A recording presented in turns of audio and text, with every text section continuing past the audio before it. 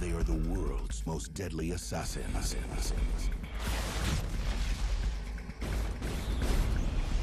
Their identities are a secret, even from each other. So how's work? We had a little trouble with the commission. So how's Lena? What, are you looking for a job or something? You are the job. Had a few problems ourselves. Did you do something new? I added peas. Ah, peas. I love my wife, but there are times. There's this huge space between us, and it just keeps filling up with everything that we don't say to each other. What do you think she learned to shoot like that? Looks like it's government or something.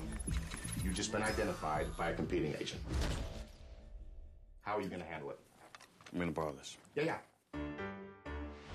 Next summer, Sweetheart. love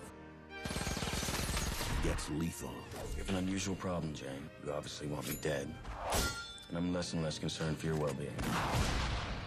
So what do we do? Hmm. From the director of The Bourne Identity, Come on, sweetheart. Come to daddy. Who's your daddy now? Brad Pitt, Angelina Jolie, Still alive, baby?